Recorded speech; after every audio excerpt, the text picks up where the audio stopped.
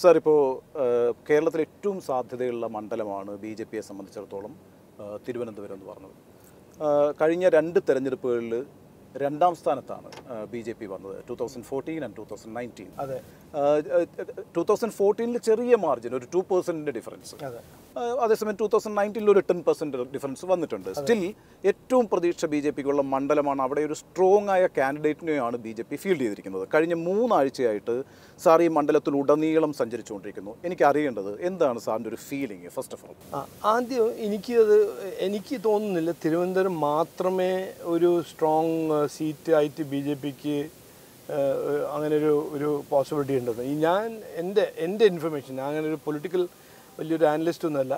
എനിക്ക് ഫീഡ്ബാക്ക് കിട്ടുന്നത് തൃശ്ശൂരിൽ അങ്ങനെ ഒരു ഒരു ഒരു ഒരു സ്ട്രോങ് പ്രസൻസ് ഉണ്ട്. ഒരു ഒരു നല്ലൊരു റെസ്പോൺസ് ഉണ്ട്. അങ്ങനെ പാലക്കാടിലുണ്ട്. അതുകൊണ്ട് തിരുവനന്തപുരം മാത്രമല്ല ഈ ഫിനോമിനൻ കാണിക്കുന്നത് ഞാൻ പറയാൻ ആഗ്രഹിക്കുന്നു പക്ഷേ ഡാറ്റ വെച്ചിട്ട് ഞാൻ പറഞ്ഞത് two thousand fourteen and two thousand അത് ശരിയാണ്. ഹിസ്റ്റോറിക്കലി ഹിസ്റ്റോറിക്കലി നോക്കുമ്പോൾ നമ്മുടെ പെർഫോമൻസ് തിരുവനന്തപുരത്ത് ആണ് ബെസ്റ്റ് ഇതുവരെ. പതിനാലും പത്തൊമ്പതെല്ലാം നോക്കുമ്പോൾ. ഞാൻ ഇവിടെ ശരിക്കും പറയുകയാണെങ്കിൽ ഞാൻ വന്നത് നാലാം തീയതി വൈകുന്നേരമായിരുന്നു വന്നത്. ബട്ട് ഇനി ഞാൻ ഒരു ജാൻ ട്വന്റി ട്വന്റി ഫോറിലാണ് ഞാൻ ആദ്യം ഇതിനെപ്പറ്റി വിചാരിച്ചിട്ട് എന്റെ പ്രധാനമന്ത്രി എന്നോട് ചോദിച്ചു. ഏത് സീറ്റിലാണ് ലോക്സഭയിൽ മത്സരിക്കാൻ താല്പര്യം? അപ്പോൾ ഞാൻ അദ്ദേഹത്തോട് അന്ന് പറഞ്ഞു ബിക്കോസ് അന്ന് ഈ മാതൃഭൂമിയിലും മനോരമയിലും കുറെ ആർട്ടിക്കിൾസ് എല്ലാം വന്നിരുന്നല്ലോ. നിർമ്മലാജി വരുന്നുണ്ട് അതെ, ജയശങ്കറിന്റെ, ജയശങ്കർ, പിന്നെ പ്രൈം മിനിസ്റ്ററും പേരും വന്നു. അതെ. അപ്പൊ ഞാൻ അങ്ങനെ ഒരു എന്റെ ഒരു ബ്രേവ് ഒരു ഇതിൽ ഞാൻ പറഞ്ഞു എനിക്ക് നമ്മുടെ കേരള നാടിന്റെ തലസ്ഥാനം തിരുവനന്തപുരത്ത് ഒരു ഓപ്പർച്യൂണിറ്റി കിട്ടിയ എനിക്ക് ഭയങ്കര അഭിമാനം ഉണ്ടാവും സന്തോഷം ഉണ്ടാവും ഞാൻ അദ്ദേഹത്തോട് പറഞ്ഞു ജാനുവരിയിൽ. ഓക്കെ അദ്ദേഹം ഒന്നും പറഞ്ഞില്ല. എന്നിട്ട് ഫെബ്രുവരി എൻഡ് എന്നോട് പറഞ്ഞു അത് ഒന്ന് അതിനെ ഒന്ന് പ്രിപ്പറേഷൻ തുടങ്ങിക്കോളൂ മെന്റലി എന്നിട്ട് മൂന്നാം തീയതി അദ്ദേഹം പറഞ്ഞു ഒഫീഷ്യലി പാർട്ടി പറഞ്ഞു. എന്നിട്ട് നാലാം തീയതി വൈകുന്നേരം ഞാൻ ഇവിടെ എത്തി. ഈ കഴിഞ്ഞ ഇരുപത്തെട്ട് ഇരുപത്തേഴ് ദിവസത്തിൽ ഞാൻ ഒരു length and breadth of the constituency എത്രയോ ജനങ്ങളെ മീറ്റ് ചെയ്ത് ക്രോസ് സെക്ഷൻ ഓഫ് സൊസൈറ്റി ജനങ്ങളെ മീറ്റ് ചെയ്ത്. എനിക്ക് കേൾക്കാൻ കിട്ടിയത് പ്രശ്നങ്ങൾ വിഷമങ്ങൾ അഞ്ച് പത്ത് പതിനഞ്ച് കൊല്ലമായിട്ട് ഈ ഒന്നും പരിഹാരം ആരും ഉണ്ടാക്കാത്ത ആരും ഒന്നും നോക്കാത്ത പ്രശ്നങ്ങളും വിഷ വിഷമങ്ങളും ജനങ്ങൾ ഇങ്ങനെ അതിന്റെ വേദന സഹിക്കുന്നു. അതെല്ലാം കണ്ടപ്പോൾ ഞാനൊരു അഞ്ച് ആറ് ദിവസം മുമ്പേ ഇത് പബ്ലിക്കലി പറഞ്ഞതാണ് ഒരു പ്രസ് കോൺഫറൻസിൽ ഞാൻ വന്നത് ഒരു മത്സരം മത്സരം. ആ ഒരു മത്സരമാണ് കരുതിയിട്ടാണ് വന്നത്. ബട്ട് ഇത് എനിക്കൊരു ഒരു തിരുവനന്തപുരത്തിന് മാറ്റണം ഇവ- ഇവിടെ ഒരു മാറ്റം കൊണ്ടുപോകണം കൊണ്ടുവരണം. തിരുവനന്തപുരം മാറ്റം മുമ്പോട്ട് കൊണ്ടുപോകണം എന്നൊരു ഒരു നിയോഗമായിട്ട് മാറിയിട്ടുണ്ട്. എന്റെ ഒരു ഫീലിംഗ് എന്റെ എന്റെ ഒരു പേഴ്സണാലിറ്റി അങ്ങനെയാണ്. ഞാൻ കുറച്ചൊരു ഇന്റൻസ് ആളാണ്. ഓക്കെ അതുകൊണ്ട് ഞാനിപ്പോൾ കേൾക്കുന്നതും കാണുന്നതും ജനങ്ങൾക്ക് ഒരു മാറ്റം വേണം. അവർക്ക് ഇതുവരെ ഒരു ക്രെഡിബിൾ പബ്ലിക് റെപ്രസെന്റേറ്റീവ് ഒരു മാറ്റം കൊണ്ടുവരാൻ പറ്റി പറ്റുന്ന ഒരു ക്രെഡിബിൾ പബ്ലിക് റെപ്രസെന്റേറ്റീവ് കിട്ടിയിട്ടില്ല. അതുകൊണ്ട് ഞാൻ എന്റെ എന്റെ ഒരു കാൻഡിഡേച്ചർ അതായിട്ടാണ് ഓഫർ ചെയ്യുന്നത്. എനിക്ക് ഈ മാറ്റം കൊണ്ടുവരാൻ കഴിവുണ്ട് താല്പര്യമുണ്ട് എന്റെ ഒരു ട്രാക്ക് റെക്കോർഡ് ഒരു പൊളിറ്റിക്സ് ഓഫ് പെർഫോമൻസിന്റെ ആണ്. അതുകൊണ്ട് എനിക്ക് നല്ല റെസ്പോൺസ് കിട്ടുന്നുണ്ട്. ഇൻ ഇൻ സമ്മറി ഇന്ത്യ മുന്നോട്ട് പോയിക്കൊണ്ടിരിക്കുന്നു. പക്ഷേ സംഹൗ തിരുവനന്തപുരം ചവിട്ടി പിടിച്ചിരിക്കുന്ന ഒരു സാഹചര്യത്തിലാണുള്ളത്. അപ്പൊ അപ്പോൾ ഇവിടെ ഒരു നരേന്ദ്രമോദിക്ക് ഒരു കൺസെപ്റ്റ് ഉണ്ട്. ആ കൺസെപ്റ്റിൽ ഈ പാർലമെന്റ് കോൺസ്റ്റിറ്റ്യൻസിയെ മുന്നോട്ട് കൊണ്ടുപോവുക എന്നുള്ളതായിരിക്കും എന്റെ ദൗത്യം. അപ്പോൾ ഒരു പൊളിറ്റിക്കൽ കോമ്പറ്റീഷൻ അപ്പുറത്ത് ഇവിടുത്തെ ഡെവലപ്മെന്റ് ഇതാണ് മേജർ പ്ലാങ്ക് അതെ. അത് കഴിഞ്ഞ പതിനഞ്ച് വർഷമായിട്ട് ഇവിടെ സംഭവിക്കുന്നില്ല എന്നാണോ താങ്കൾ പറയുന്നത്? അതെ അത് അത് അതിന്റെ ഒരു ഫാക്റ്റും അതിന്റെ എവിഡൻസ് എല്ലാം എല്ലാവർക്കും അറിയാലോ. ഏഹ് നമ്മുടെ കേരള നാട്ടിൽ ഏറ്റവും അൺഎംപ്ലോയ്മെന്റ് ഇന്ത്യയിലുണ്ടെങ്കിൽ കേരള നാട്ടിൽ unemployment youth unemployment കോളേജസിൽ thirty seven percent undergraduate seats vacant ആണ് ഇവിടുത്തെ കുട്ടികൾ ഹൈലി ക്വാളിഫൈഡ് കുട്ടികൾ മുപ്പത്തി മൂന്ന് ദിവസം മുപ്പത്തിനാല് ദിവസം പോലീസിൽ കോൺസ്റ്റബിൾ ആവാൻ അവിടെ സെക്രട്ടേറിയറ്റിന്റെ മുമ്പിൽ സമരം ചെയ്യുന്നു. എവിടെ നോക്കിയാലും ഇത് തീരദേശത്ത് പോയി നോക്കിയാലും ഞാൻ ഇന്നലെ മിന്നാന്ന് പറഞ്ഞു ഒരു നെഗ്ലിജൻസിന്റെ ഒരു എവിഡൻസ് എല്ലായിടത്തും. ഞാൻ ആരെയും തെറി പറയല്ല. ബട്ട് ഇതൊരു ഫാക്റ്റാണ്. ആരും ഒന്നും ഒരു എമ്പത്തി കൊണ്ടോ ഒരു ഒരു ഒരു ഒരു ഒരു ഇതിന്റെ എല്ലാം പ്രോബ്ലംസിന്റെ ഒരു സൊല്യൂഷൻ ഉണ്ടാക്കണം എന്ന് ആരും അങ്ങനെ നോക്കിയിട്ടില്ല. അതുകൊണ്ട് എന്റെ മനസ്സിൽ ജനങ്ങൾക്ക് ഒരു ഒരു മാറ്റം വേണം. രാഷ്ട്രീയ ഒരു വികസനത്തിന്റെ രാഷ്ട്രീയം പൗരോഹിത്യത്തിന്റെ രാഷ്ട്രീയമാണ് അവർക്ക് വേണ്ടത്. അവരുടെ കുട്ടികൾക്കും ഒന്ന് പ്രോഗ്രസ് വേണം. അവരുടെ കുട്ടികൾക്കും ഒരു അവസരം വേണം. കർണാടകയിലെ ഒരു വലിയ ഫാക്ടറി വന്ന് ലക്ഷം കണക്കിൽ അവിടെ തൊഴിൽ കിട്ടുമ്പോൾ എഴുന്നൂറ് കിലോമീറ്റർ ദൂരെ ഇവിടെ എന്താ അത് വരാത്ത? ചെന്നൈയിലും തമിഴ്നാട്ടിലും വലിയ വലിയ ഫാക്ടറീസ് വരുന്നു. ഇലക്ട്രോണിക്സ് മാനുഫാക്ചറിങ് അവിടുത്തെ ടെക് ഈക്കോ സിസ്റ്റമിൽ എത്രയോ കോടിക്കണക്കിൽ ഇൻവെസ്റ്റ്മെന്റ് വരുന്നു. ഈ നമ്മുടെ തിരുവനന്തപുരത്തും നയന്റി സിക്സ് നയന്റി സെവനിൽ ഇവിടെ ടെക്നോ പാർക്കായിട്ട് ഒറിജിനൽ ഐഡിയ എവിടുന്ന് തുടങ്ങിയത് എന്താണ് ഇങ്ങനെ ഒരു പുരോഗതിയും ഇൻവെസ്റ്റ്മെന്റ്സ് എല്ലാം വരാത്തത്? അതെല്ലാം ഒരു നാച്ചുറൽ ക്വസ്റ്റ്യൻ ഞാൻ ഒന്ന് പ്രൊവോക്ക് ചെയ്യുന്ന ക്വസ്റ്റ്യൻസ് ഒന്നുമല്ല. ഇതെല്ലാം ജനങ്ങൾ ചോദിക്കുന്നു. ഇതുവരെ അതിന്റെ ഒരു ആൻസർ കൊടുക്കാനോ ഒരു ഉത്തരം കൊടുക്കാനോ ആരും ഉണ്ടായിരുന്നില്ല. ഞാൻ ഇതിന്റെ ആൻസർ കൊടുക്കുന്നു. എന്നിട്ട് ഞാൻ ഭയങ്കര എംഫാറ്റിക് ആയിട്ട് പറയുന്നു. ഞാനിപ്പോൾ ഒരു വിഷൻ മുമ്പോട്ട് വെച്ചാൽ അത് എല്ലാവരും കൂടെ ഉണ്ടാക്കിയ ഒരു വിഷൻ ഉണ്ടാക്കിയാൽ അത് എന്റെ ഒരു റിപ്പോർട്ട് കാർഡായിട്ട് എനിക്ക് അഞ്ച് കൊല്ലത്തിനൊരു അവസരം കിട്ടി. എനിക്ക് പത്ത് കൊല്ലം വേണ്ട പതിനഞ്ച് കൊല്ലം വേണ്ട. അഞ്ച് കൊല്ലം എനിക്കൊരു അവസരം ജനങ്ങൾ തന്ന സേവിക്കാൻ തിരുവനന്തപുരത്തിന് മുമ്പോട്ട് കൊണ്ടുപോകാൻ ഒരു അവസരം തന്ന ആ ഒരു ഡോക്യുമെന്റ് ആയിരിക്കും എന്റെ ഒരു കോൺട്രാക്റ്റ് ഞാൻ ഇത് ചെയ്യും. ചെയ്തില്ലെങ്കിൽ എനിക്ക് സെക്കൻഡ് ടേം തരണ്ട. എന്നെ പിടിച്ച് പുറത്താക്കിക്കോളും. ആ ഒരു കോൺഫിഡൻസ് ആണ് ഞാൻ ജനങ്ങളുടെ അതൊരു ബിഗ് സ്റ്റേറ്റ്മെന്റ് ആണ് കേട്ടോ. ശരി ഈ മത്സരത്തിൽ വരുമ്പോൾ പറയുന്നത് എനിക്ക് എന്റെ പ്രോ ഞാൻ ചെയ്യുന്ന റിപ്പോർട്ട് കാർഡിനനുസരിച്ച് മാത്രം അടുത്ത ഒരു സമയത്ത് ഞാൻ ഇലക്ഷൻ വരികയാണെങ്കിൽ നിങ്ങൾ എനിക്ക് വോട്ട് ചെയ്താണ്. അങ്ങനെ സാധാരണ ഇതിൽ ഒരു കാൻഡിഡേറ്റും പറയത്തില്ല. എനിക്കറിയാം അങ്ങ് ഇപ്പൊ ഈ പ്രചാരണത്തിലുടനീളാണെന്ന്. ഒരിക്കൽ കൂടെ നമ്മൾ കാണും. താങ്ക് യു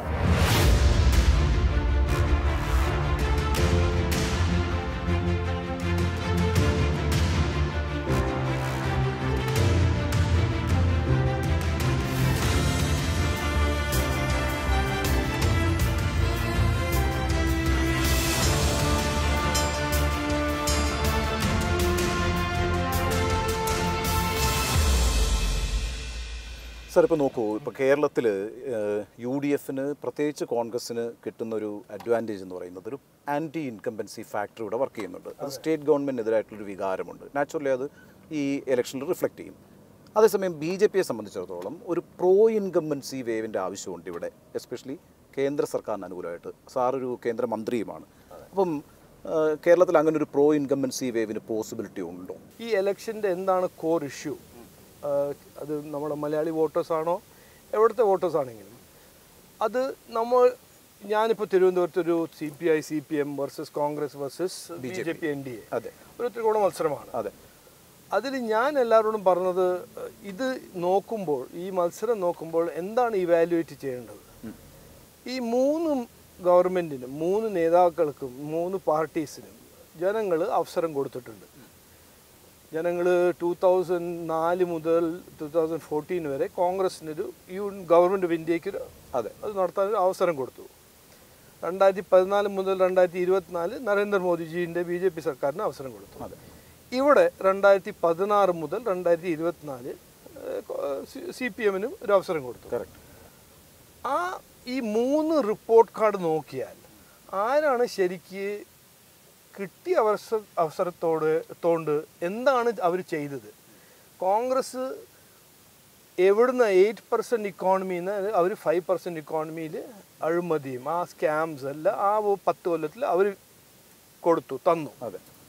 നരേന്ദ്രമോദിജി ഒരു ഫിഫ്ത്ത് മോസ്റ്റ് ഫ്രജൈൽ ഇക്കോണമി ഒരു ഷാറ്റേർഡ് ഇക്കോണമി നിന്ന് എടുത്തിട്ട് ഫിഫ്ത്ത് മോസ്റ്റ് ബിഗ്ഗസ്റ്റ് ഇക്കോണമി ആക്കി മുമ്പോട്ട് കൊണ്ടുപോയി. ഇത് ആർക്കും ഡൗട്ടുമില്ല ഇപ്പോൾ ഏറ്റവും വലിയ ക്രിട്ടിക്കാണെങ്കിലും ഇന്ത്യ ഒരു ഒരു നല്ലൊരു ഫാസ്റ്റസ്റ്റ് ഗ്രോയിങ് ഇക്കോണമി ആണെന്ന് ആർക്കും അത് കോൺടസ്റ്റ് ചെയ്യാൻ പറ്റില്ല. ഇവിടെ C P I C P M ഈ എട്ട് കൊല്ലത്തിൽ അവസരം കിട്ടിയപ്പോൾ അവരെന്ത് ചെയ്തു? ഇന്ന് അവരുടെ സ്ഥിതി സുപ്രീം കോർട്ട് പോയി കടം വാങ്ങാനൊരു പെർമിഷൻ എടുക്കണം. എന്തിന്? ശമ്പളവും പെൻഷൻ കൊടുക്കാൻ. കറക്റ്റ് അപ്പോൾ ആരാണ് ഈ മൂന്ന് പാർട്ടീസിൽ ഏറ്റവും സൂട്ടഡ് നമ്മുടെ തിരുവനന്തപുരത്തിനെയോ നമ്മുടെ കേരളേനെയോ നമ്മുടെ ഇന്ത്യനെ മുമ്പോട്ട് കൊണ്ടുപോകാൻ ആർക്കാണ് ഒരു ട്രാക്ക് റെക്കോർഡ് ആർക്കാണ് കഴിവ്? അതാണ് ശരിക്കും ഒരു ക്വസ്റ്റ്യൻ അതിനെ ഡിഫെൻഡ് ചെയ്യാൻ പറ്റാത്ത പാർട്ടീസാണ് അത് എക്സ്ട്രീനിയസ് ഇഷ്യൂസ് എല്ലാം കൊണ്ടുവരുന്നത് ഇലക്ഷൻ ടൈമിൽ ഒരാൾ പറയുന്നു ഞാൻ കോൺസ്റ്റിറ്റ്യൂഷൻ ഡിഫെൻഡ് ചെയ്യും. മറ്റേ ആൾ പറയുന്നു ഞാൻ സി എനെ ഇംപ്ലിമെന്റ് ചെയ്യില്ല. ഇതെല്ലാം എല്ലാവർക്കും അറിയാം. പെർഫോമൻസ് ഇല്ലാത്തൊരു പുള്ളി അല്ലെങ്കിൽ പെർഫോമൻസ് ഇല്ലാത്തൊരു പാർട്ടി അല്ലെങ്കിൽ നേതാവ് എക്സ്ട്രീനിയസ് ഇഷ്യൂ കൊണ്ടുവന്ന് അതിനെ വേറെ ഏതൊരു ഡയറക്ഷനിൽ കൊണ്ടുപോകാൻ ശ്രമിക്കുന്നു. എത്ര കൊല്ലം നമ്മൾ കേട്ടു ഈ ഗരീബി ഹട്ടാവോ ഗരീബി ഹട്ടാവോ എന്ന്? ഗരീബി എവിടെയും പോയില്ല. അറുപത്തഞ്ച് കൊല്ലം ഗരീബി അങ്ങനെ തന്നെ ഇരുന്നു. ഇന്നല്ല ഇന്നല്ല ഇപ്പോൾ ഒരു ഇരുപത്തഞ്ച് കോടി ജനങ്ങൾക്ക് ഗരീബിയിൽ നിന്ന് മൾട്ടി ഡയമെൻഷണൽ പോവർട്ടിയിൽ നിന്ന് മുമ്പോട്ട് പോകാൻ ഒരു ഓപ്പർച്യൂണിറ്റി കിട്ടുന്നത്. അതുകൊണ്ട് ഇത് ഒരു ഷിഫ്റ്റ് ഇൻ പൊളിറ്റിക്കൽ കൾച്ചറാണ് ഷിഫ്റ്റ് ഇൻ പൊളിറ്റിക്കൽ ഡിസ്കോസാണ് നമ്മൾ കാണുന്നത്. അപ്പോൾ ഈ ഫ്രീ ബീസും ഒരു ഒരു ഒരു പൊളിറ്റിക്കൽ റെറ്ററിക് അതിനെ റിജക്റ്റ് ചെയ്തിട്ട് ജനങ്ങൾ ഇന്ന് റിയൽ എന്റെ ജീവിതത്തിൽ എന്ത് വ്യത്യാസം കൊണ്ടുവരാൻ പോകുന്നു? എന്റെ കുട്ടികൾക്ക് എന്താണ് പുതിയ അവസരങ്ങൾ നിങ്ങൾ ക്രിയേറ്റ് ചെയ്യുന്നത്? അതിനുവേണ്ടി എഡ്യൂക്കേഷൻ സ്കില്ലിങ് റിസർച്ച് കാശ് ക്രെഡിറ്റ് അതെല്ലാം എന്താണ് ഒരു ചേഞ്ച് അക്കോർഡിംഗ് ടു മീ എന്റെ ഒരു ഹമ്പിൾ സബ്മിഷൻ ആ ഷിഫ്റ്റാണ് ഇപ്പോൾ നമ്മൾ കാണാൻ പോകുന്നത് ഈ ഇലക്ഷനിൽ ഞാനിപ്പോൾ തിരുവനന്തപുരത്ത് എല്ലായിടത്തും പോകുമ്പോൾ പി എം ആവാസ് യോജനയുടെ ബെനിഫിഷ്യറീസിനെ മീറ്റ് ചെയ്യുന്നു. പി എം ആയുഷ്മാൻ ഒമ്പത് ലക്ഷം ജനങ്ങൾക്ക് അഞ്ച് ലക്ഷം റുപ്യേന്റെ ഒരു ഇൻഷുറൻസ് സ്കീം കിട്ടുമ്പോൾ അവരെ ലൈഫിലെ എംപവർമെന്റ് നാല് ലക്ഷം വീട്ടിൽ കുടിവെള്ളം വന്നിട്ടുണ്ട്. ജൽജീവൻ മിഷന്റെ കാരണം. എത്രയോ അങ്ങനെ ഒരു direct benefit to peoples lifes കാണുമ്പോൾ ഈ എലക്ഷൻസ് ആർ അബൌട്ട് എന്റെ ഫ്യൂച്ചറിൽ എന്ത് വ്യത്യാസം ആര് കൊണ്ടുവരും? ആ ക്വസ്റ്റ്യൻ ആണ് നമ്മൾ ഇലക്ഷന്റെ റിസൾട്ട് കാണാൻ പോകുന്നത്. അതൊരു ഇമ്പോർട്ടന്റ് പോയിന്റ് ആണ്. പക്ഷേ സാർ ഇപ്പോൾ പറഞ്ഞിരുന്നു എക്സ്ട്രേനിയസ് ഇഷ്യൂസ് കൊണ്ടുവരുന്നു അതെ. അതിനകത്ത് വളരെ ഇമ്പോർട്ടന്റ് ആയിട്ടുള്ള ഒരു പ്രശ്നമായിട്ട് എനിക്ക് തോന്നിയിട്ടുള്ളത് ഈ ഇൻസെക്യൂരിറ്റി മൈനോറിറ്റി കമ്മ്യൂണിറ്റിയുടെ ഇൻസെക്യൂരിറ്റിയാണ് അതൊരു വളരെ പ്രധാനപ്പെട്ട വിഷയമാണ് നമ്മൾ ഈ പുരോഗതിക്കൊക്കെ അപ്പുറത്ത്. ഞങ്ങൾക്ക് ഇവിടെ ഈ രാജ്യത്ത് തുടരാൻ കഴിയുമോ? അല്ലെ ഞങ്ങൾക്ക് ഞങ്ങൾക്കെതിരായിട്ട് പ്രവർത്തിക്കും? ഇത് ഈ ഒരു ടെൻഷൻ ഈ മൈനോറിറ്റി കമ്മ്യൂണിറ്റീസിനിടയിലുണ്ട്. കേരളത്തിൽ ഈ മൈനോറിറ്റി കമ്മ്യൂണിറ്റീസ് എന്ന് പറയുന്നത് എല്ലാ മണ്ഡലങ്ങളിലും വളരെ ഇമ്പോർട്ടന്റ് ഫാക്ടറുമാണ്. ഇപ്പോൾ തിരുവനന്തപുരത്ത് അങ്ങ് മത്സരിക്കുന്ന മണ്ഡലത്തിൽ തന്നെ ഒരു thirty percent Christian Muslim vote bank ഉണ്ട്. അതെ. അതെപ്പോഴും ഒന്നുകിൽ യു ഡി എഫിന് അല്ലെങ്കിൽ എൽ ഡി എഫിന് കിട്ടിക്കൊണ്ടിരിക്കുന്നു. അല്ലെങ്കിൽ ഡിവൈഡ് ചെയ്ത് പോകും. പക്ഷെ അത് ഒരിക്കലും ബി ജെ പി കിട്ടുന്നില്ല. അതുകൂടി കിട്ടാതെ ബി ജെ പിക്ക് ജയിക്കാൻ ഈ മണ്ഡലത്തിൽ നിന്നല്ല കേരളത്തിൽ സാധ്യമല്ല അപ്പോൾ ആ മൈനോറിറ്റീസിന്റെ ഈ ഇൻസെക്യൂരിറ്റി ഫീലിങ്ങിനെ നിങ്ങൾ എങ്ങനെ ഓവർകം ചെയ്യും? അത് ത്രൂ ഡയലോഗ് അത് സത്യം പറഞ്ഞിട്ട് ഞാനിപ്പോൾ ഒരു കോസ്റ്റൽ മേഖലയിൽ പോയപ്പോൾ നല്ലൊരു പ്രോഗ്രാം കഴിഞ്ഞ് അവിടുത്തെ അമ്മമാരെല്ലാം എന്നെ കൈയെല്ലാം പിടിച്ച് എന്നെ ചായ കുടിപ്പിച്ച് പറഞ്ഞു. ഇപ്രാവശ്യം മോനെ മോനെ നിങ്ങൾക്കാണ് വോട്ട് തരാൻ പോകുന്നത്. അതെല്ലാം കഴിഞ്ഞ് ഇരുന്നിട്ട് ഇരുന്നപ്പോൾ ഒരു ഒരു ഒരു വയസ്സായ ഒരു അമ്മ വന്ന് എന്നോട് കൈ പിടിച്ച് പറഞ്ഞു. ഞങ്ങളെ പള്ളി കത്തിക്കല്ലേ? നിങ്ങൾ ആൾക്കാരെ എന്നെ പള്ളി കത്തിക്കാൻ പാടില്ല.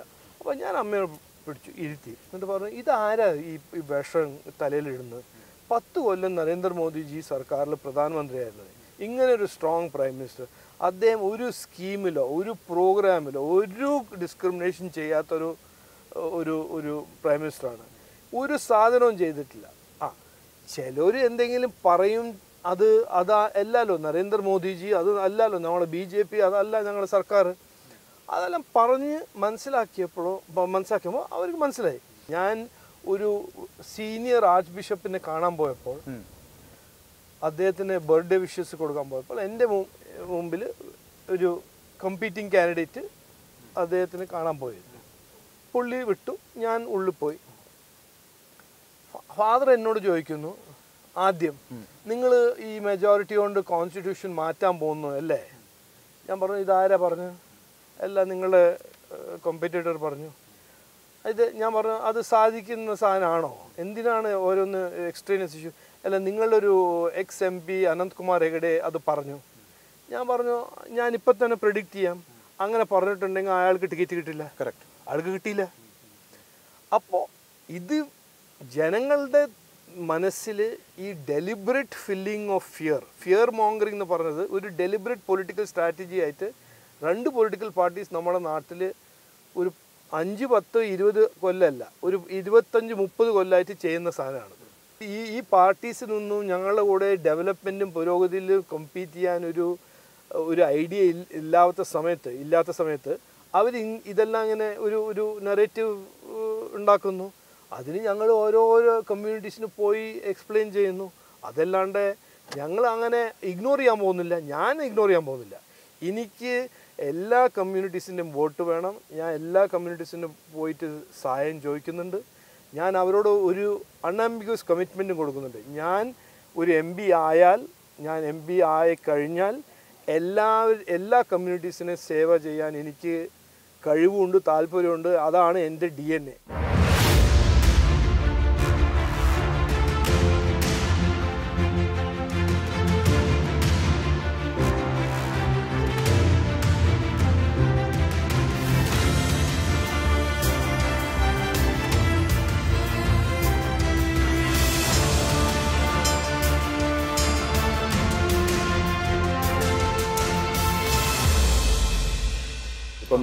കോൺഗ്രസിനോടുള്ള ഒരു അപ്രോച്ച് ഇങ്ങനെയാണ്. വളരെ സ്ട്രിക്റ്റ് ആയിട്ടുള്ള ലോ എൻഫോഴ്സ്മെന്റ് നടപ്പാക്കുന്നു. അരവിന്ദ് കെജ്രിവാൾ അറസ്റ്റിലാകുന്നു. ഹേമന്ത് സോറൻ അറസ്റ്റിലാകുന്നു. പക്ഷേ കേരളത്തിലേക്ക് വരുമ്പം നിങ്ങൾ നേരിടുന്ന B J P and N D A നേരിടുന്ന ഏറ്റവും വലിയ അലിഗേഷൻ എന്ന് പറഞ്ഞാൽ there is a strong undercurrent in between Modi and Pinarayi എന്നുള്ളതാണ്. പിണറായിയുടെ കേസുകൾ അല്ലെങ്കിൽ ലാവലിൻ കേസായാലും ഇപ്പോൾ എക്സാലോജിക്കായാലും ഒക്കെ വളരെ സ്ലോയിലാണ് ആ കാര്യങ്ങൾ പോകുന്നത്. കരുവന്നൂരിലെ കോഓപ്പറേറ്റീവ് ഇഷ്യൂ ആണെങ്കിലും ഒക്കെ അപ്പോൾ അങ്ങനെ ഒരു അണ്ടർ കറന്റ് ഉണ്ട്. അതായത് ഹാൻഡ് ഇൻ ഹാൻഡാണ് സി പി എമ്മും ബി ജെ പിയും എന്നുള്ളത്. അത് വളരെ പ്രധാനപ്പെട്ട ഒരു ക്യാമ്പയിനാണ് അഗെയിൻസ്റ്റ് യു ഓൾസോ അല്ല അത് അതിന്റെ ആൻസർ ഭയങ്കര സിമ്പിൾ അല്ലേ? ലാംലിൻ കേസ് എന്ന് പറഞ്ഞ കേസ് എവിടെയാ കേസ് സുപ്രീം കോടതിയിൽ ആ അത് അത് ജഡ്ജിനോടല്ല ചോദിക്കേണ്ടത്? ഇതിൽ ഗവൺമെന്റിന്റെ എന്താ റോൾ ജഡ്ജിനോട് ചോദിക്കണം എന്താ ഈ കേസ് ഇങ്ങനെ സ്ലോ പോകുന്നു ഒരു മാറ്റർ സബ്ജൂഡസ് ആവുമ്പോൾ government is only one party അതിൽ രണ്ടാമത്തെ പാർട്ടി അക്യൂസ്ഡ് ആണ്. ഗവൺമെന്റ് എങ്ങനെ ഇതിൽ റെസ്പോൺസിബിൾ എക്സാലോജിക്ക് എക്സാലോജിക്ക് ഇപ്പോൾ S F I O investigate ചെയ്യുന്നു. നാലഞ്ച് ദിവസം മുമ്പേ ഇ ഡി ഇൻവെസ്റ്റിഗേറ്റ് ചെയ്യാൻ തുടങ്ങി. അതൊരു പ്രോസസ്സാണ് പിന്നെ വീണ ഒരു പിണറായി വിജയന്റെ മോളാണ്. കോൺഗ്രസ്സിന് ഇഷ്ടമല്ല അതുകൊണ്ട് ഒരു പ്രോസസ് ഓഫ് ലോ പാടില്ല. അതൊരു കണ്ടം ചെയ്യണം. അങ്ങനെയല്ലല്ലോ നമ്മുടെ സിസ്റ്റം നടക്കുന്നത്. എനിക്ക് ഒരു ഡൗട്ടില്ല ഞാൻ പ്രൈമ ഫേസി കണ്ട ഇൻഫർമേഷനിൽ എക്സാ എക്സാലോജിക്ക് കൾപ്പബിൾ ആണ് അണ്ടർ ഇന്ത്യൻ ലോ എന്റെ പേഴ്സണൽ ഒപ്പീനിയൻ അത് നമുക്ക് ഇ ഡിന്റെ ഇൻവെസ്റ്റിഗേഷൻ കഴിഞ്ഞിട്ട് കാണാം.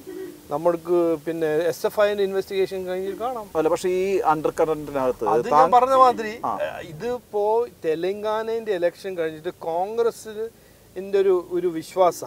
അവർക്കൊരു സീക്രട്ട് ഫോർമുല കിട്ടിയിട്ടുണ്ടെന്ന്. അതെന്താ സീക്രട്ട് ഫോർമുല മുസ്ലിംസിന്റെ വോട്ട് കിട്ടാൻ അവരുടെ main opposition party B J പിന്റെ കൂടെ ആണെന്നൊരു ഒരു പ്രചരണം ഒരു ഒരു ഒരു campaign fight is in between B J P and Congress ആ അത് ശരിക്ക് പറയുകയാണെങ്കിൽ contest is between B J P Congress and communist B J P കോൺഗ്രസ്സിന് ഈ മുസ്ലിം വോട്ട് ഭയങ്കര ഡെസ്പറേറ്റ് ആണ് അവർക്ക്.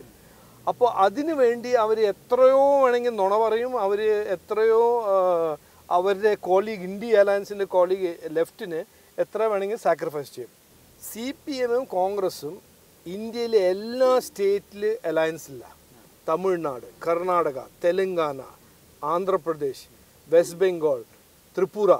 എല്ലായിടത്തും അവരൊരു അലയൻസ് പാർട്ട്ണറാണ് ബീഹാർ മഹാരാഷ്ട്ര. ബീഹാർ മഹാരാഷ്ട്ര. സീറ്റ് ഷെയറിംഗ് ആണ് സീറ്റ് അണ്ടർസ്റ്റാൻഡിംഗ് ആണ്. ഈ കേരളയിൽ മാത്രം ഒരു രാഷ്ട്രീയ നാടകം നടക്ക നടത്തുന്നുണ്ട്. നിങ്ങൾ സ്റ്റേറ്റ് ഗവൺമെന്റ് എടുത്തോളൂ. ഞങ്ങൾ പാർലമെന്റ് പൊക്കോളാം. അതാണ് അവരുടെ അണ്ടർസ്റ്റാൻഡിങ് അത് ഞാൻ എനിക്ക് പറയാനൊരു ഇതും താല്പര്യമുണ്ട്. അവരാണ് ശരിക്കും പറയുകയാണെങ്കിൽ ഈ രണ്ട് party with a clear political understanding ആ പൊളിറ്റിക്കൽ അണ്ടർസ്റ്റാൻഡിങ്ങിന്റെ എവിഡൻസ് നമുക്ക് എല്ലാവർക്കും കാണാനുണ്ട് ഓൾ ഓവർ ഇന്ത്യ അപ്പോൾ ഇവിടുത്തെ പൊളിറ്റിക്കൽ അണ്ടർസ്റ്റാൻഡിങ് നിങ്ങൾ മിസ്റ്റർ പിണറായി വിജയൻ നിങ്ങൾ സ്റ്റേറ്റ് ഗവൺമെന്റ് നിങ്ങൾ ഭരിച്ചോളൂ. ഞങ്ങൾക്ക് എം പി സീറ്റ്സ് എല്ലാം ഞങ്ങൾ ജയിക്കും. എന്നിട്ട് ഞങ്ങൾ ബി ജെ പിന്റെ ഓപ്പോസിഷൻ പാർട്ടിയാവും അതാണ് അക്കോർഡിംഗ് ടു മീ ശരിക്കുള്ള ഒരു അണ്ടർസ്റ്റാൻഡിങ് അപ്പോൾ ഈ അണ്ടർ കറന്റിന്റെ ഭാഗമായിട്ട് താങ്കളുടെ പേര് കൂടി അതിനകത്തേക്ക് കൊണ്ടുവന്നു എന്നുള്ളത് ഈ ഇലക്ഷന്റെ സമയത്ത് സാറ് ക്ലാരിഫൈ ചെയ്തിട്ടുള്ളതാണെങ്കിൽ പോലും അതിനകത്തൊരു പൊളിറ്റിക്സ് ഉണ്ടല്ലോ. കാരണം വെച്ചാൽ E P ജയരാജനുമായിട്ട് you are having a business relationship എന്ന് പറയുന്നത്. അതല്ല ഞാൻ പറഞ്ഞത് ഈ ഈ സമയത്ത് ഒരു ഒരു കോസും ഒരു ഐഡിയയും ഒരു ഡെവലപ്മെന്റും വികസനം പുരോഗതിനെ പറ്റി ഒന്നും പറയാൻ പറ്റാത്തൊരു പാർട്ടിക്ക് ഇന്ന് ഒന്നോ രണ്ടോ ഇഷ്യൂസേ ഉള്ളൂ. പറയാൻ. ഒന്ന് ഞാനൊരു ഭയങ്കര ഡിഫൻഡർ ഓഫ് മൈനോറിറ്റി ആണെന്ന് പറഞ്ഞിട്ട് കോൺസ്റ്റിറ്റ്യൂഷൻ വർഗീയവാദീന്റെ ഒരു ചർച്ച. ചെയ്യുന്ന ആൾക്കാർ മൂന്ന് മാസം മുമ്പേ ഒരു ലൈനിൽ നിന്നിട്ട് ബി ജെ പിക്ക് ജോയിൻ ചെയ്യണം ബി ജെ പിക്ക് ജോയിൻ ചെയ്യണം എന്ന് പറഞ്ഞിട്ട് ആൾക്കാരാണ് പറഞ്ഞത് ഒന്നത്. രണ്ടാമത്തത് അതേ ഒരു വർഗീയവാദിയിൽ C A A prevents polit Muslims from asking for political asylum എന്ന് പറഞ്ഞാൽ അങ്ങനെ ഒരു നോണ.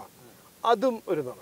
അതെല്ലാം ഫെയിലാവുമ്പോൾ മൂന്നാമത്തത് ഞാൻ പറഞ്ഞ മതി തെലങ്കാനേന്റെ ആ ഫോർമുല ഇവിടെ റിപ്പീറ്റ് ചെയ്യാൻ ബി ജെ പിയും സി പി എമ്മിന്റെ ഒരു ഒരു അണ്ടർസ്റ്റാൻഡിങ് ഉണ്ട്. അത് E P Jayarajan Rajeev Chandrasekhar business dealing ഉണ്ട്. അതുകൊണ്ട് അതിന്റെ ഒരു മീനിങ് ആണ് അതിന്റെ ഒരു ഒരു ഒരു ഒരു ഒരു ഒരു എന്താ പറയുക കൺക്ലൂഷനാണ് ബി ജെ പിയും സി പി എം ഒരു ഒരു ഒരു പൊളിറ്റിക്കൽ അണ്ടർസ്റ്റാൻഡിങ്ങിൽ എത്തിയിട്ടുണ്ട്. ഇതിന്റെ റിഡിക്കുലസ്നെസ് ഞാൻ പറഞ്ഞുതരാം. ഓക്കെ ഉണ്ണി ഒരു ഓഫീസ് റെന്റ് ചെയ്തു. അത് റെന്റ് ചെയ്തത് ഒരു സി പി എം ഫാമിലിയിൽ നിന്നാണ് റെന്റ് ചെയ്തത്. അപ്പോൾ ഉണ്ണി ഒരു സി പി എമ്മിന്റെ ഒരു ക്ലോസ് ജേർണലിസ്റ്റായി എന്ന് അവർ കോൺഗ്രസ് കൺക്ലൂഡ് ചെയ്യുന്നു. അതിൽ സത്യമുണ്ടോ? ഇല്ല. അത് ഗിൽറ്റ് ബൈ അസോസിയേഷൻ ഇനുവെൻഡോ ഞാൻ ഇത് പണ്ട് കാലത്ത് രണ്ടായിരത്തി പത്തൊമ്പത് പറഞ്ഞ കോൺഗ്രസിന്റെ ഒരു സ്ട്രാറ്റജി ഉണ്ട്. ഒരു ഹാഫ് ട്രൂത്ത് എടുത്തിട്ട് ഹാഫ് ട്രൂത്തും ഇല്ല ഒരു വൺ ടെൻ ട്രൂത്ത് എടുത്ത് അതിലൊരു നയൻ ടെൻത്ത് ഫിക്ഷൻ മസാലയിൽ ഇട്ടിട്ട് സോഷ്യൽ മീഡിയയിൽ സ്റ്റോറി ഉണ്ടാക്കുക. എന്നിട്ട് അവരുടെ എസംഷൻ ഒരു പത്ത് ആൾ അത് വായിച്ച് വിശ്വസിച്ചാലും ആ പത്ത് വോട്ട് ഞങ്ങൾക്ക് കിട്ടും. അവരൊരു പൊളിറ്റിക്കൽ സ്ട്രാറ്റജി ഇന്ന് നമുക്കറിയാമല്ലോ സോഷ്യൽ മീഡിയയും ഈ ഡിജിറ്റൽ മീഡിയന്റെ ഒരു ലോക ദുനിയാവിൽ ഫേക്ക് ന്യൂസ് ട്രാവൽസ് ഫാസ്റ്റ് അതെ അതെ. അത് and it travels and reaches audiences faster than real news correct ആ ഒരു കാൽക്കുലേഷനാണ് കോൺഗ്രസിന്റെ ഫുൾ രാഷ്ട്രീയം ശരി finally coming back to your constituency ഈ കേരളത്തിൽ ഏറ്റവും വളരെ ശക്തമായിട്ടുള്ള ട്രയാങ്കുലർ ഫൈറ്റ് നടക്കുന്ന കോൺസ്റ്റുവൻസി ട്രിവാൻഡ്രമാണ് നോ ഡൗട്ട് ഏറ്റവും ബെസ്റ്റ് കാൻഡിഡേറ്റ്സ് മത്സരിക്കുന്നു. എല്ലാവർക്കും സ്ട്രോങ് ഹോൾഡാണ് അവർ എല്ലാവരും ക്ലെയിം ചെയ്യുന്നു. യു ഡി എഫിന്റെ സ്ട്രോങ് ഹോൾഡാണെന്ന് കോൺഗ്രസ് ക്ലെയിം ചെയ്യുന്നു. ലെഫ്റ്റിന് ലെഫ്റ്റ് ഇവിടെ ജയിച്ചിട്ടുള്ള ആണ്. ബി ജെ പി നന്നായി കണ്ടസ്റ്റ് ചെയ്തിട്ടുള്ളതാണ് സെക്കൻഡ് പൊസിഷനാണ് ഇപ്പോൾ ഉള്ളത്. സോ എല്ലാ കാൻഡിഡേറ്റ്സും നല്ലതാണ്. ഈ ഫൈറ്റിനെ താങ്കൾ എങ്ങനെയാണ് കാണുന്നത്? ഞാൻ കാണുന്നത് ഒരു ഒരു ഒരു പഴയ രാഷ്ട്രീയം വേഴ്സസ് ഒരു ഒരു പുരോഗതി വികസനം ഒരു ഒരു ആക്ച്വലി ഒരു ഡെവലപ്മെന്റ് പോളിറ്റിക്സിന്റെ ഒരു ഒരു ഫൈറ്റാണ് ഡെവലപ്മെന്റ് ആണ് മെയിൻ പ്ലാൻ എന്റെ ഒരു ഒറ്റ പ്ലാങ്കല്ലോ ഞാൻ ആദ്യം നാലാം തീയതി വൈകുന്നേരം തൊട്ട് ഇത് ഇതുവരെ ആ ഒരു പ്ലാങ്ക് നിന്ന് നരേന്ദ്രമോദിജീന്റെ പ്ലാങ്ക് ഞാൻ ഒരു ഡ്രിഫ്റ്റും ചെയ്തിട്ടില്ല. അത് എന്താണ്? വികസനം പുരോഗതി ഇൻവെസ്റ്റ്മെന്റ് തൊഴിൽ സ്കില്ലിങ് ഞാൻ വന്നിട്ടൊരു നാല് ദിവസം മുമ്പേ നാല് ദിവസം കഴിഞ്ഞിട്ട് ഞാൻ പറഞ്ഞു. എനിക്കിപ്പോൾ ഞാൻ കണ്ടതും കേട്ടതും എല്ലാം കുട്ടികൾ ഭയങ്കര ഇവിടെ ബിഹൈൻഡാണ് ടാലന്റ് ബേസ് ഡെവലപ്പ് ആവുന്നില്ല. അതുകൊണ്ട് ഞാൻ ഗ്യാരണ്ടി ചെയ്യുന്നു ആദ്യത്തെ എന്റെ പ്രോമിസാണ് എന്റെ അഞ്ച് കൊല്ലത്തിൽ ഒരു ഒറ്റ കുട്ടിയും ഇൻഡസ്ട്രി റെഡി സ്കിൽസ് ഇല്ലാണ്ട് തിരുവനന്തപുരത്ത് ഉണ്ടാവില്ല. എന്ന് ഞാൻ പ്രോമിസ് ചെയ്തു. ആ ഒരു ഡയറക്ഷനാണ് ഞാൻ പോകുന്നത്. പത്ത് കോളേജസിന് എ ഐ ലാബ് കൊടുത്തു. പത്ത് സ്കൂളിന് അട്ടൽ ടിങ്കറിങ് ലാബ്സ് കൊടുത്തു. അങ്ങനെ അതാണ് എന്റെ രാഷ്ട്രീയം. എനിക്ക് എനിക്കൊരു സിൻസിയർ ഡിസയർ ഉണ്ട് നമ്മുടെ നാടിന്റെയും നമ്മുടെ തിരു തിരുവനന്തപുരത്തെ രാഷ്ട്രീയത്തിൽ ഒരു മാറ്റം കൊണ്ടുവരണം. എനിക്ക് എഴുത്ത് എഴുതി പതിനഞ്ച് കൊല്ലം ഒന്നും ചെയ്യാണ്ട് ഒരു സ്റ്റേറ്റസ് സിമ്പിളായിട്ടല്ല ഞാൻ എം പി ഷിപ്പിനെ കാണുന്നത്. ഞാൻ എം പി ഷിപ്പിന് ഒരു ജനസേവ ഒരു ഒരു ഒരു വ്യത്യാസം കൊണ്ടുവരാൻ ഒരു ഇമ്പാക്റ്റ് ഉണ്ടാക്കാൻ ഒരു അവസരമായിട്ടാണ് ഞാൻ കാണുന്നത്. എനിക്ക് I am very very proud എനിക്കൊരു ഇങ്ങനെ ഒരു ഓപ്പർച്യൂണിറ്റി കിട്ടി. എന്റെ പാർട്ടി എന്റെ ലീഡർഷിപ്പ് എനിക്കൊരു ഓപ്പർച്യൂണിറ്റി ഇങ്ങനെ തന്നു. അപ്പോൾ thank you very much and all the best wishes thank you thank you so much